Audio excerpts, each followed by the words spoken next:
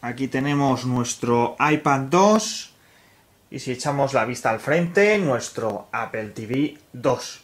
La función de AirPlay en iOS 5 se ha visto mejorada y en el nuevo iPad 2 incluye la opción de espejo sin cables, ¿de acuerdo? No tenemos conectado ningún adaptador.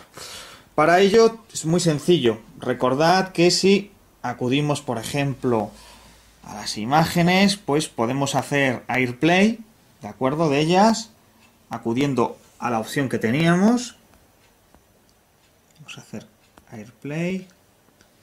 Y vemos aquí qué dispositivos detecta, la pantalla del iPad o la del Apple TV.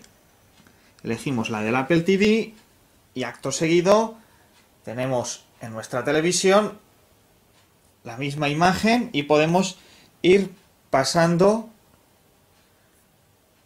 las imágenes en nuestro iPad y estas se visualizan en nuestra televisión.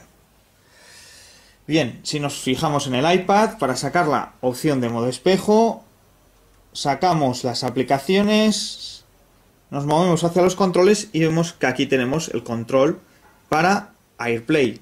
Hacemos clic y si nos fijamos tenemos la opción de seleccionar Apple TV 2 y al elegir Apple TV 2 tenemos la opción de duplicar.